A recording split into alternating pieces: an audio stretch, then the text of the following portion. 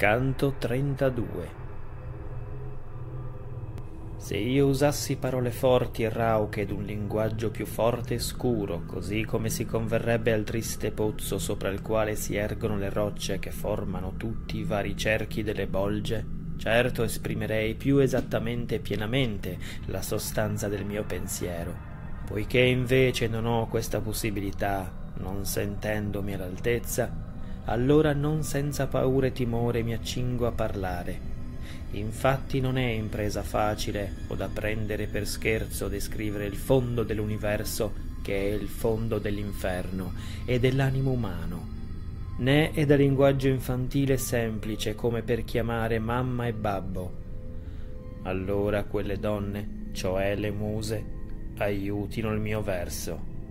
Infatti esse già aiutarono e accompagnarono Anfione quando costruì le mura di Tebe con il suono della lira, dando così l'esempio di un'impresa straordinaria compiuta mediante la poesia, non nel senso però di ispirazione, quanto nella possibilità di tradurla in versi Oh voi traditori, peccatori più di tutti gli altri che state in quel luogo, del quale è così difficile parlare e spiegare, e che siete stati condannati per tutti quei vostri tradimenti perpetrati nel mondo, meglio se sulla terra foste state bestie come pecore o capre quando fummo giù nell'oscuro pozzo ancora più in basso del posto in cui poggiava i piedi il gigante, ed io ancora guardavo la parete alta della roccia senza poter vedere i dannati, sentii dirmi Guarda dove metti i piedi, cerca di andare in modo da non calpestare le teste dei miseri fratelli disperati.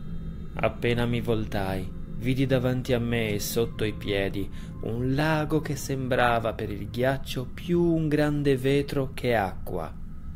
Il Danubio in Austria non fece lungo il suo corso d'inverno un così grosso velo di ghiaccio, né il Don sotto il freddo gelo della Russia, e sembrava tanto spesso che se vi fosse caduto sopra il monte Stamberlicche, nelle Alpi Apuane o il monte Pietrapana, non avrebbe scricchiolato neppure in superficie. E come se ne sta la rana a gracidare con il muso fuori dall'acqua al principio dell'estate, quando le contadine sognano di spigolare, nello stesso modo, livide per il freddo, le anime dei dannati erano immerse nel ghiaccio fino al volto battendo forte i denti per il gran freddo, con quel rumore che fa anche la cicogna quando batte il becco Ogni peccatore teneva la faccia rivolta verso il basso, mentre il grande tormento si manifestava attraverso quel battere dei denti ed il pianto degli occhi.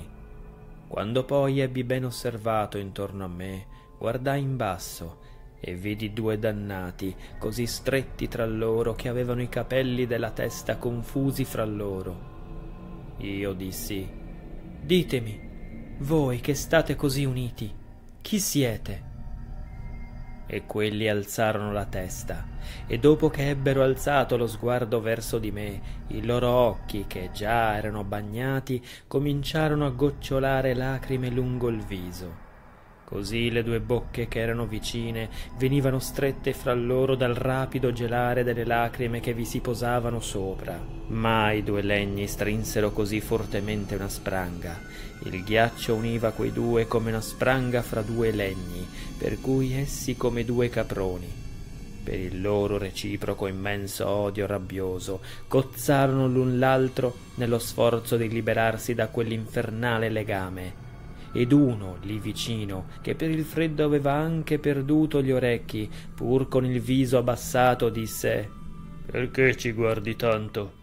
Se vuoi sapere chi sono quei due, ebbene quelli sono due fratelli, Napoleone e Alessandro, figli di Alberto degli Alberti, conti di Mangona in Val di Sieve e dei castelli di Vernio e Cerbaia in Val di Bisenzio Morirono insieme, uscendone insieme dal corpo, e potrai cercare in tutto questo luogo che si chiama Caina, ma non troverai anime più degne di essere immerse in questo lago ghiacciato. Neppure Mordrek, che pur essendo figlio di re Artù, tentò di uccidere il re suo padre.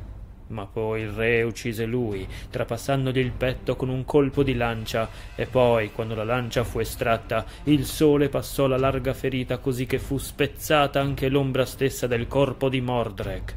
E non fu tanto degno neppure focaccia, e neppure questo che sta qui vicino a me e che mi ingombra con la testa così che io non posso vedere più oltre, e che si chiama Sassolo Mascheroni e se tu sei toscano dovresti sapere di questo fatto perché egli fu ghigliottinato proprio a Firenze. Ora finché tu non mi costringa a parlare ancora, sappi che io fui Alberto Camicione de Pazzi e aspetto qui Carlino de Pazzi di Valdarno che con la sua colpa farà sembrare più lieve la mia. Infatti io uccisi a coltellate un mio congiunto Umbertino, per impadronirmi di alcune fortezze che avevamo in comune. Carlino de Pazzi di Valdarno invece teneva per conto dei bianchi fiorentini il castello di Piantravigne che cedette però, tradendo per denaro e per ottenere il rimpatrio ai neri di Firenze. Per questo tradimento molti bianchi morirono. Carlino fu dunque un grande traditore politico e la sua colpa è stata ben più grave della mia. E lui cadrà nella zona che segue il cocito, l'Antenora. Dopo questo incontro vidi mille volte i paonazzi per il freddo, e per questo mi venne il ribrezzo, e mi verrà sempre ogni volta che mi trovo davanti una gelata mentre andavo verso il centro dell'universo dove vengono attratti tutti i pesi per gravità e tremavo in quel freddo eterno, forse per volere del destino o per fortuna, mi capitò, camminando fra quelle teste orribili, di battere forte un piede nel viso di una di quelle teste. Piangendo, mi sgridò. Perché mi pesti? Se tu non sei venuto ad aumentare la vendetta di Montaperti, perché mi tormenti? Maestro mio, aspettami qui affinché io chiarisca con costui ogni dubbio. Poi mi farai fretta quanto vorrai. Il duca si fermò ed io dissi a quello che continuava a bestemmiare ancora duramente: Chi sei tu che ti permetti di rimproverare così gli altri? Allora tu chi sei? Che vai percuotendo per l'antenora infernale la faccia altrui, così che se fossi ancora vivo, certo non lo sopporterei. Io sono vivo, e se vorrai potrò ancora esserti utile, perché se ti farà piacere essere ricordato, io metterò anche il tuo nome fra tutti gli altri ricordi di questo mio viaggio. Io invece desidero proprio il contrario. Levati di qui e non darmi più noia, perché queste lusinghe in questo luogo in questo senso, cioè fra noi traditori, non servono proprio a nulla. Allora io lo presi forte per la collottola e gli dissi Converrà che tu dica chi sei, o ti strapperò tutti i luridi capelli. Se anche mi strapperai tutti i capelli, non ti dirò mai chi io sia, né te lo farò intendere, neppure se mi cadrai addosso mille volte con altri colpi ben più violenti. Allora io avevo già i suoi capelli fra le mie mani e ne avevo già tirati alcuni ciuffi, mentre lui si lamentava con gli occhi abbassati, quando un'altra anima dannata che stava lì vicino gridò Che hai bocca? Non ti basta più battere i denti, ora devi anche latrare come un cane? Che diavolo ti prende? Ormai non è più necessario che tu parli e che tu dica chi sei, vigliacco traditore, perché io racconterò di te la verità sul tuo malvagio tradimento e la tua infamia.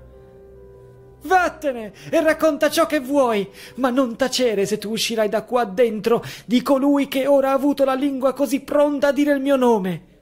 Lui piange qui il tradimento dei ghibellini che doveva difendere contrastando i francesi e che invece si fece comprare per denaro dai francesi stessi.